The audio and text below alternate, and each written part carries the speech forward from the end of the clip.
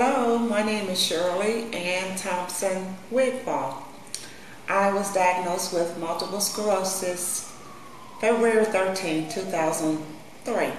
I used to fall a lot, um, couldn't walk, um, would try to walk and just uh, be in my tracks at a halt.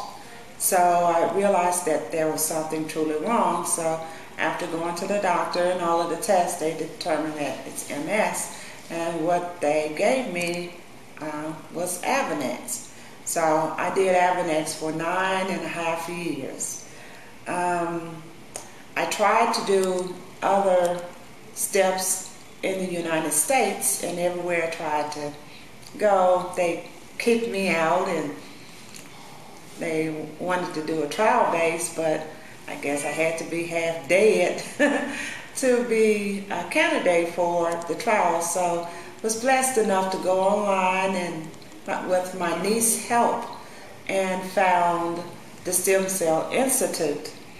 And from that point, then my husband and I, we just started surfing and finding out more information and listening to the other clients that had gone through the stem cell transplant.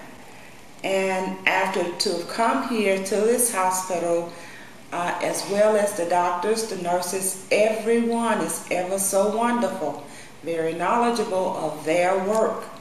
Uh, they take care of you very well.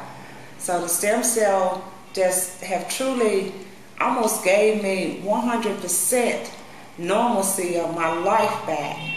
But I still have a little ways to go, and that's my therapy, continuing therapy daily, daily for my walking pattern um, to get stronger, which is I'm almost there, 15% more to go, I would say.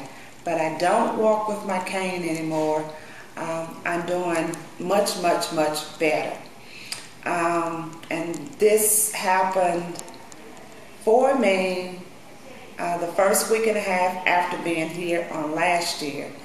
And it truly changed my life and it makes me feel so much better to know that I will have an actual normal life once again. So I thank Dr. Rodriguez, Hernandez, and the, the whole team here at the Stem Cell uh, Institute here in Panama City, Panama. I thank you and I love you because you're my extended family for making me well again. Thanks.